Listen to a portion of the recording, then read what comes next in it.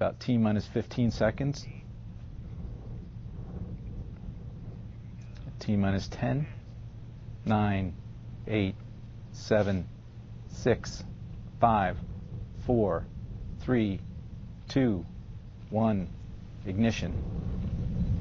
Ignition start. And as you can hear from that rumble, we have liftoff. Liftoff of an ILS Proton rocket from the Baikonur Cosmodrome in Kazakhstan with the Astra 2E satellite on board.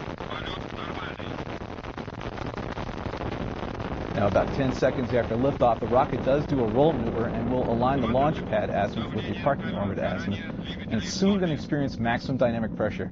Now, this is the maximum aerodynamic load on the vehicle, and for Proton, it corresponds to about Mach 1.6 and occurs about 1 minute and 2 seconds after liftoff.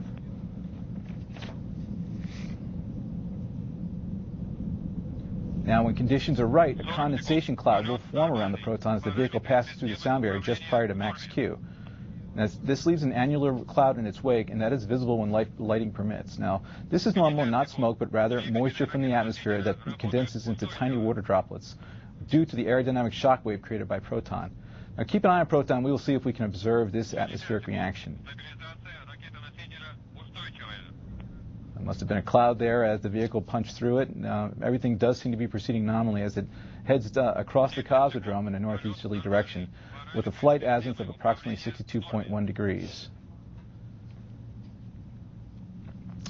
About a minute 20 seconds, we pass through max Q.